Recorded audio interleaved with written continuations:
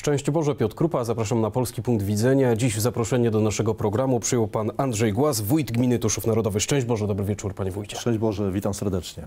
Na naszej antenie regularnie mówimy o naciskach Brukseli, Unii Europejskiej na Polskę. E, Różne e, sugestie, różne groźby, że Polska nie otrzyma środków unijnych, czy to z Krajowego Planu Odbudowy, czy e, z Funduszy Spójności, ale też mamy naciski bezpośrednio na samorządy. Na samorządy, które decydują się na obronę wartości, na obronę rodziny, na ochronę dzieci przed niebezpiecznymi ideologiami. I tak też zrobiła e, e, Rada Gminy Tuszów Narodowy w 2019, występując przeciwko ideologii LGBT. I gmina jest teraz em, straszona, że nie otrzyma środków e, unijnych. E, Panie wójcie, wróćmy do tego dzie- 2019, wtedy gdy ta uchwała została e, przyjęta. Jaki był cel państwa wtedy? Uchwała została przyjęta 29 marca 2019 roku, jednogłośnie, przypomnę, przez wszystkich radnych. Ona miała na celu y, przede wszystkim ochronę dzieci, tych najmłodszych. My jesteśmy rodzicami, my jesteśmy dziadkami, słyszeliśmy o karcie LGBT Trzaskowskiego i to była nasza forma dyskusji, wypowiedzenia się. Nie tylko, że mamy prawo jako rodzice, dziadkowie, samorządowcy, ale obowiązek dbania o tych najmłodszych. Jeżeli e, w- Światowa Organizacja Zdrowia, WHO, na której środowisko LGBT się wzoruje i wypełnia dużo z tych rzeczy, mówi nam o seksualizacji od najmłodszych lat naszych dzieci, od czwartego roku o masturbacji, no to tego po prostu my nie chcemy. My mamy wprost obowiązek, żeby dbać o nasze społeczeństwo, o tych najmłodszych szczególnie. I taki był cel radnych, którzy przyjęli stanowisko, powtarzam, przeciw ideologii, a nie przeciw osobom. E, I tu dziwne zachowanie jest później, e, rok później, w 2020 roku, 29 lipca, e, pan Bart Staszewski przywiesza nam tablicę strefy wolne od LGBT. To jest takie bezpośrednie nawiązanie do czasów okupacji, kiedy Żydom nie wolno było wchodzić na pewne strefy, były to zakazane. To nas bardzo obrażało, bo ktoś jak przychodzi do urzędu gminy, to nie pytamy się, jakiej jest orientacji seksualnej, e, jakie ma poglądy polityczne, tylko każdego staramy się załatwić jak najlepiej.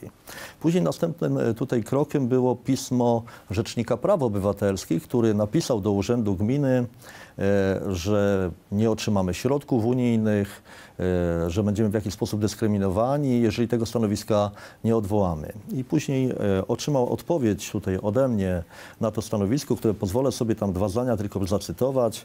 E, Pierwsze, że wycofanie się stanowiska o przeciwdziałaniu ideologii LGBT oznaczałoby opowiedzenie się po stronie tęczowej zarazy, jaką jest wspomniana diaboliczna ideologia i wyrażenie zgody na demoralizację młodego pokolenia począwszy od przedszkola.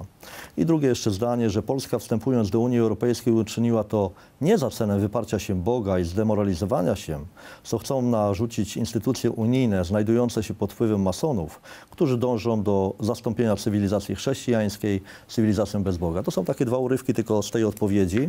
W mediach bardzo mocno, y, między innymi państwa gmina była atakowana, między innymi przez tego Barta Staszewskiego, który przyjeżdżał z tą tabliczką. Te zdjęcia tych stref wolnych od LGBT były też wykorzystywane przecież na poziomie Unii Europejskiej do rozsiewania kłamstw, jakoby to e, państwo, gmina konkretnie taką tabliczkę e, e, przykręcała. Tak przecież nie było. Państwo też walczycie o, o sprawiedliwość i o prawdę w tej kwestii. Tak, jest sprawa sądowa, a tu nie tylko wspomniał Pan o Unii Europejskiej, tak, w Unii Europejskiej to były powoływane te argumenty, ale również kandydat na prezydenta Biden wypowiadał się podczas kampanii wyborczej, czyli to rozeszło się na cały świat. Ja mam wrażenie, że to było na zamówienie zagranicznych jakichś, prawda, społeczeństwa, no nie wiem kogo, nie mam na to dowodów, ale jeżeli to w ten sposób było używane zarówno w Unii Europejskiej, w Stanach Zjednoczonych, na całym świecie, pokazywane te tabliczki, to ktoś zamówił to, żeby szkalować Polskę, żeby oczerniać Polskę, żeby oczerniać takie samorządy jak nasze, które dbają o swoje społeczeństwo, dbają o tych najbardziej narażonych, o tych najmłodszych w szkołach,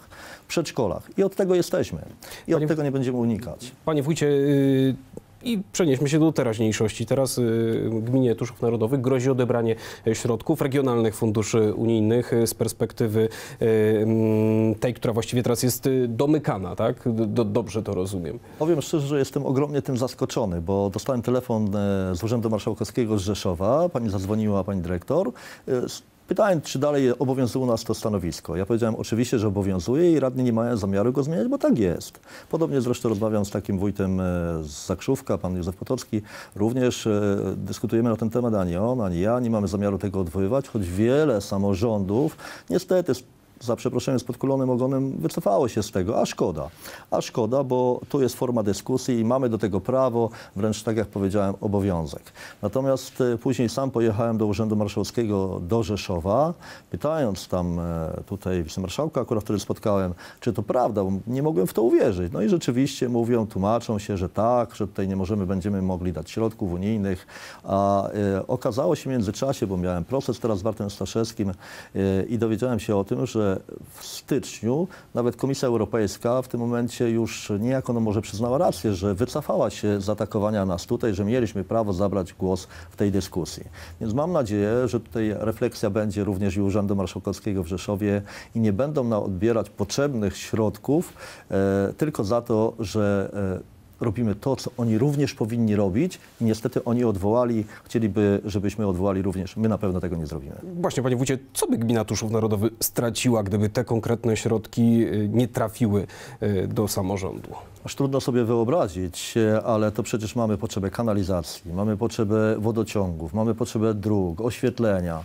Więc wiele inwestycji na gminie Tuszów się wykonuje. 18,5 miliona inwestycji przepraszam, e, w zeszłym roku, a teraz jest planowane 30 milionów, między innymi oczyszczalnia ścieków. Te środki już mamy, tutaj to będziemy realizować, ale następne środki są nam niezbędne, potrzebne. Pomimo to, że tych inwestycji jest bardzo wiele, to potrzeb jest też bardzo dużo. Gmina ma ponad 8 tysięcy mieszkańców, 8200, 14 miejscowości, więc e, tych potrzeb jest bardzo wiele i myślę, że tutaj e, rząd wspiera szczególnie te samorządy i te biedniejsze samorządy, bo w rozmowach z samorządowcami mówimy, że takiego wsparcia, tyle środków e, zewnętrznych jeszcze samorządy nie miały, więc tutaj z tego się cieszymy. A myśli pan, że potrzebna jest też jakaś refleksja właśnie na poziomie y, rządowym, bo mm, no, Urząd Marszałkowski Podkarpacki broni się, że to y, realizuje tak naprawdę ustalenia, e, które były podejmowane na poziomie Ministerstwa Funduszy i Polityki Regionalnej, że tam są negocjowane te wszystkie sposoby realizacji i wydatkowania unijnych środków. Trudno mi e, na ten temat się wypowiedzieć, bo ja ze strony rządowej nie dostałem takich e, jakichś e, dyspozycji, żeby to wycofać, a gdybym dostał, też bym tego nie uczynił. Uważam, że tutaj mamy rację. Zresztą to nie ja, tylko radni podjęli i jednogłośnie przypomnę taką decyzję, e, więc nie będę się na ten temat wypowiadał, ale sądzę, że nie. Że, że tutaj, że trudno by mi było uwierzyć w to, że rząd chciałby, żeby odwołać stanowisko dyskusji że e, nie chcemy tej ideologii, nie ludzi, powtarzam, to trudno mi było uwierzyć, no gdyby tak było, to, to na pewno bym się z tym nie zgodził. Bo zrozumiałe, panie wójcie, byłyby wątpliwości dotyczące wydatkowania środków, niewłaściwego e, inwestowania, ale czy pana gmina miała jakiekolwiek problemy na przestrzeni ostatnich lat, Nie. jakieś wątpliwości przy wydatkowaniu właśnie tych unijnych środków? Nie, nie, no tego przestrzegamy, tego bardzo pilnujemy. Mam bardzo merytorycznych pracowników, którzy się zajmują tym, rozliczają te wnioski. Nie było z tym problemów, nie ma z tym problemu, więc tutaj, e, jeżeli by było, to tylko złośliwość e, z tego względu właśnie, że, że bronimy, bronimy swoich wartości, bronimy swoich dzieci. Może przypomnę, bo to jest teraz ciekawostka, bo teraz jest taki wielki atak e, na świętego Jana Pawła II, e, że niedawno, bardzo niedawno teraz, e, może z miesiąc temu, może nawet nie, e, w szkole w Czajkowej, to jest na terenie naszej gminy, Rada Gminy e, jednogłośnie e, tutaj poddała pod głosowanie i przyjęto nadanie imienia świętego Jana Pawła II. Ja się cieszę, że to jest bardzo w tym czasie. W tym czasie, kiedy tak święty Jan Paweł, który występował również przeciw tej ideologii, nie osobom, ale ideologii, że ta, e, prawda, tutaj tej szkole na wniosek społeczeństwa, na wniosek rodziców, na wniosek akceptacji pięknej uczniów, nauczycieli, to jest ogólny wniosek, to nie jest Rada Gminy. Oni zawnioskowali, a Rada Gminy jednogłośnie przyjęła. W maju będziemy mieli uroczystości, na co serdecznie zapraszamy już dzisiaj. Y, Panie wójcie, wróćmy do tych nacisków unijnych. No, mm, ta idea samorządności y, w Polsce jest ponad y, trzy dekady y, realizowana. Mm, To, że te środki są wydawane tak, jak chcą tego mieszkańcy, y, przynosi y, sukcesy. No ale tu mamy przypu- przykład tego, że ktoś chce z samej góry, już nawet nie z Warszawy, a z Brukseli decydować e, o tym, jak konkretna złotówka, konkretne euro e, ma być wydane i czy ta gmina, czy ci e, obywatele, którzy mają takie, a nie inne poglądy, mm, mogą tych środków oczekiwać. Jak to oceniać? To jest chyba zaprzeczenie tej idei samorządności.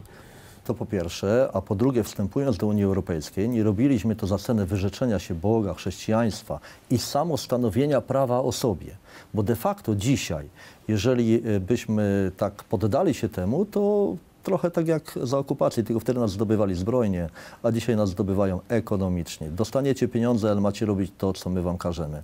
No chyba nie o taką Unię, do takiej Unii chcieli, żeśmy przystąpić. Chcielibyśmy traktowani być tak, jak są inne państwa traktowane nie żeby nam ktoś narzucał to, co my mamy robić. My chcemy stanowić o sobie prawo. No i trudno oczekiwać y, mm, i zgadzać się przede wszystkim na wizję y, super e, państwa, bo zdaje się, że mała gmina e, z Podkarpacia z perspektywy Brukseli może się wydawać nieznacząca, ale dla mieszkańców jest y, no, małą ojczyzną i tam ich życie się koncentruje. Dokładnie tak. I tutaj, prawda, tutaj chcielibyśmy stanowić to, co my chcemy robić, to, co my chcemy wykonywać, jak my chcemy wychowywać swoje dzieci. E, żadnej ideologii nie można wcierać do szkoły, żadnej. Tym bardziej również ideologii LGBT. A to chce nam narzucić Bruksela. A to chcą na, narzucić nam przepisami, obowiązkiem. No na to zgody nie było, nie ma i nie, na pewno nie będzie. Panie wójcie, to była decyzja radnych, a jak mieszkańcy odbierali zarówno przyjęcie tej uchwały, te, ale też później te naciski zmuszające, straszące gminę, że nie będzie środków? E, Ja nie słyszałem głosów takich negatywnych. Pamiętam jedna ze stacji takich tutaj wrogich mi troszeczkę pewnie, tej, e, a, aprobujących tą ideologię była chyba ze dwa dni w naszej miejscowości i szukała kogoś, kto by negatywnie wypowiedział się, bo na każdej ze szkół naszych jest wywieszony dekalog, tablica z dekalogiem. E, I tutaj szukano, by ktoś negatywnie się wypowiedział. E, Nikt, ja jestem dumny z mieszkańców Tuszowa, nikt e, nie wypowiedział się negatywnie, wręcz e, chcieli się wypowiadać pozytywnie, ale ta stacja pozytywnych wypowiedzi nie chciała nagrywać. No tak, ta historia też y, odbiła się dużym echem. Był pan mocno krytykowany y, za tą ideę zawieszenia mm, tych no, prostych prawd, które dotyczą nie tylko wiary, ale takiego, takich stosunków społecznych i, i życia dobrego. Ja tak pytałem, bo mnie też pytano, co na ten temat mam do powiedzenia. Ja mówię, ale które z przykazań wam przeszkadza? Nie zabijaj, nie kradnij, czci ojca i matkę swoją. Które z tych przykazań w szkole by przeszkadzało? Proszę, ja przypomnę tylko, że w Izraelu zastępuje dekalog konstytucję, więc y, no, nie ma tam do czego się przyczepić. Nawet jeżeli by była taka sytuacja, że ktoś by był innej wiary, to przepraszam, ale e, te przykazania nie przeszkadzają nikomu. Y, Panie wójcie, y, miniony weekend to spotkania liderów Prawa i Sprawiedliwości y, z wyborcami. Zdaje się, że ta kampania, która jeszcze oficjalnie się nie zaczęła, ale coraz mocniej się e, rozpędza. No i mamy zapowiedź premiera specjalnego dodatku e, dla sołtysów. To ma być em, 300 zł do emerytury. E, Jak pan ocenia tą propozycję z perspektywy gminy? Pan na co dzień też z sołtysami współpracuje. E, Właśnie, Dzień Sołtysa dopiero żeśmy mieli i z tej okazji zostało to ogłoszone. Ja się bardzo z tego tytułu cieszę. Naprawdę mam wspaniałych na gminie sołtysów, wszystkich i widzę, jaka jest ciężka praca. To jest dziura w chodniku, brak lampy, wszystko do sołtysa. E, Sołtys ma się tym zająć, później przekazuje to do gminy. Więc nieraz to jest takie, prawda, nawet e, niedowartościowanie może tych sołtysów. Trudna ich praca, praca w społeczeństwie. To są społecznicy. Tu na każdy na sołtysa się nie nadaje. Więc uważam, że wspaniała propozycja, wspaniałe tutaj, jeżeli to by było wcielone życie, jestem dwoma rękami za. E, Z tej okazji oczywiście przy okazji składam wszystkim sołtysom wszystkiego najlepszego, dziękując za ich pracę, za ich troskę o społeczeństwo, bo taka jest. Ja może jeszcze powiem, że na swojej gminie mam takiego sołtysa, który jest 50 już ponad lat sołtysem, przy okazji prezesem klubu, pan Stec z Dębiaków, e, przy okazji prezesem klubu, prezesem Straży Pożarnej. Proszę zobaczyć, jaki społecznik przez tyle lat i wybierany przez tyle lat. To trzeba zaufanie zdobyć tych mieszkańców, żeby przez tyle lat być wybierany. Ale też e, to należy się ogromny szacunek dla pana premiera, dla rządu Zjednoczonej Prawicy, dla Prawa i Sprawiedliwości, że taką ideę podjął. I teraz niedawno, proszę pamiętać, wielu, ja pamiętam, przecież uczestniczę w polityce już wiele lat, jak wiele osób obiecywało, wielu polityków z tamtej opcji obiecywało, robiło sobie zdjęcia, byli szefami e, straży i, i co? I nie dali tym strażakom tych 200 zł, żadnej złotówki. Tylko na obiecywaniu się skończyło, nic nie dostali. A teraz rząd nie, nawet sołtysom nie słyszałem wcześniej, żeby obiecywał, a dał, a strażakom obiecał i dał. I wielu również strażaków te 200 zł dodatku też otrzymała na terenie gminy Tuszów Narodowej i są za to bardzo wdzięczni. Wreszcie tutaj mają satysfakcję z tego, z tej ciężkiej też służby i Przecież dawniej nawet nie było takiego sprzętu, w czym kto miał. Strażacy lecieli, gasili ten ogień, bo to głównie dawniej, dzisiaj może mniej ognia. Dzisiaj więcej jest wypadków, ale dawniej to były pożary i to bardzo groźne, które strawiały stodoły, dobytki całe, więc naprawdę należy się im to i ogromna tutaj myślę, że wdzięczność społeczeństwa za to, co w tym momencie jest robione, a jest wiele dobrego robione. No, ostatnie lata to właśnie nie tylko te dodatki dla strażaków, ale też konkretne inwestycje. Czy pana gmina w jakiś sposób korzystała z tych różnych dotacji właśnie na rozwój ochotniczych y, straży pożarnych? No, trzeba powiedzieć, że jeszcze tyle tutaj e, dla straży z inwestycji, ale głównie ze sprzętu, to nie było w żadnych latach. Myśmy również skorzystali. Są samochody, prawda, z ostatnich lat, e, ale są sprzęty hydrauliczne, różne, inne, e, więc e, mamy tego sprzętu dość sporo. Oczywiście potrzeb wiele. Teraz też się staramy o dwa samochody dla jednej jednostki w Maliniu, dla drugiej jednostki w Grochowym.